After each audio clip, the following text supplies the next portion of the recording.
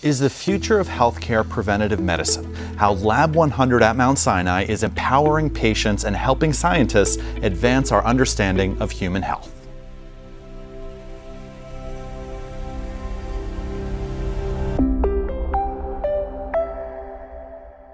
Welcome to Mount Sinai Spotlight.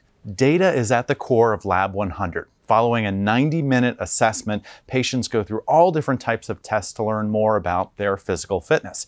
And here to explain Lab 100 is the clinical director of Lab 100, Sarah Pesce. Thank you so much for joining us today. Thank you for having me. And before we begin, we have to congratulate you. You received a really great honor recently. Uh, yes, Crain's Magazine just came out with their 2019 list of most notable women in healthcare, and I'm honored and humbled to be um, among that group of prestigious women in science and healthcare that are going to receive this award this year. That is wonderful. Congratulations. Thank you.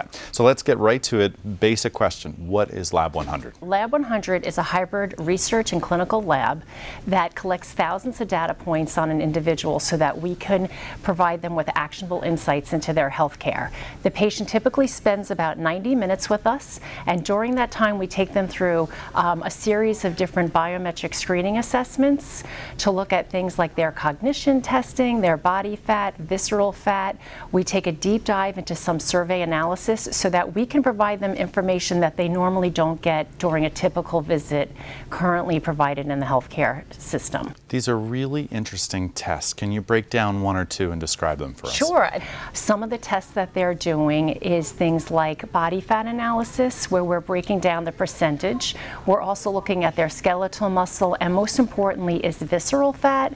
That's that hard fat in your abdominal area that at increased levels can put a patient at risk for things like cardiometabolic diseases such as diabetes and heart disease. What is the goal for the patient in the end? Sure. So our ultimate goal is can we provide an experience that offers an intervention to getting people to take better care of themselves, to being more proactive, to utilizing the healthcare system the way they should, where it will prompt them, I should go and have my primary care appointment. I should follow up with seeing my different metrics.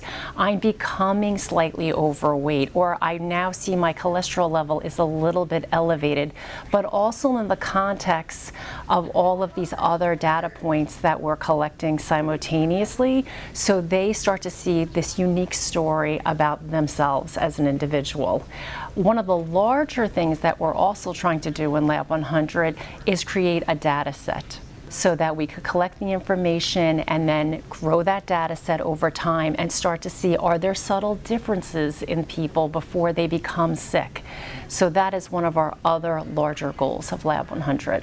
Sarah Pesce, Clinical Director of Operations for Lab 100, thank you so much for joining us thank today. Thank you so much for having me. And thank you for watching Mount Sinai Spotlight.